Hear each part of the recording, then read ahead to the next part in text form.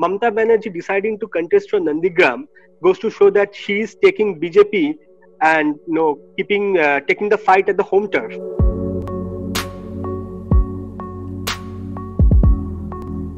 You know, in the political circle, everybody is considering this move as a masterstroke of the TMC because there are certain reasons for that. First, is that you know this is one of the places where Mamta Banerjee had started her anti-land acquisition movement back in 2007, when you know state firing 14 people were killed in Nandigram. They were opposing against the setting up of a chemical hub.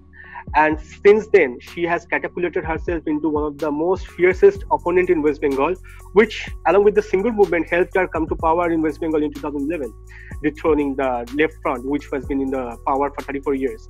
So this is one of the key areas where Mamta has never seen a defeat. Nandigram, it considered as a citadel for TMC, and there was a man behind this movement who was Shubhendu Adhikari and the Adhikari family.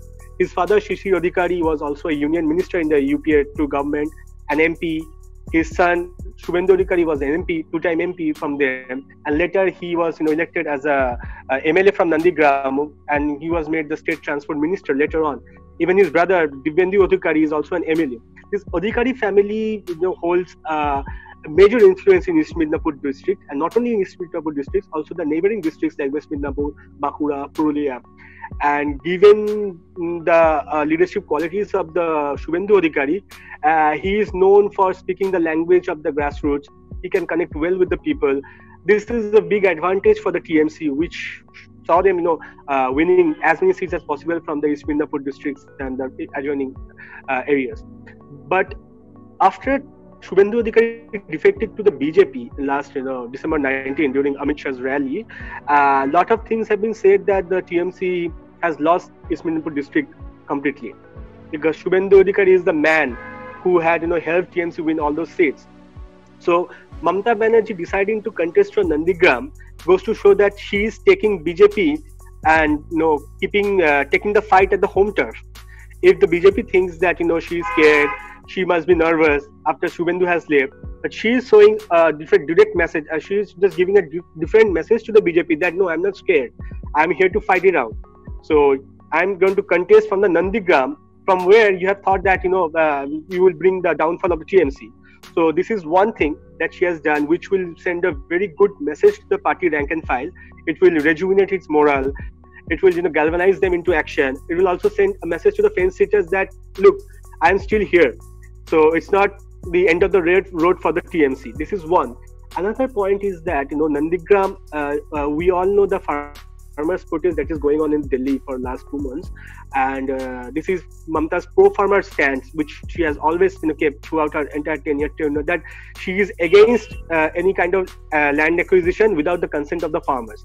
That has been her government policy and now she is also showing a pro farmer attitude and showing that okay i'm fighting for the nandigram. That means i'm with the farmer. So i'm with the farmer. I'm with the interest of the farmer. And that is going to you know send a very good message to the farmer community in the west bengal. That is you know another point that we can you know get from her direct condition from the nandigram.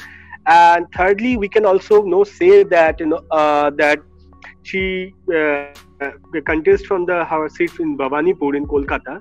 Uh, after she said that you know the BJP leaders are outsiders in the state, uh, TMC started to brand the BJP leaders who were coming to you know, campaign uh, outsiders. Uh, the message did not go well with the non-Bengalis of the city and the West Bengal, and Bhawanipur happens to have a large chunk of non-Bengalis. Uh, so and uh, given the BJP's performance in 2019 Lok Sabha polls, uh, TMC only had a lead about 3,000 something in Bhawanipur seat, which is Mamta Banerjee's seat. So she was kind of in a shaky ground in Bhawanipur.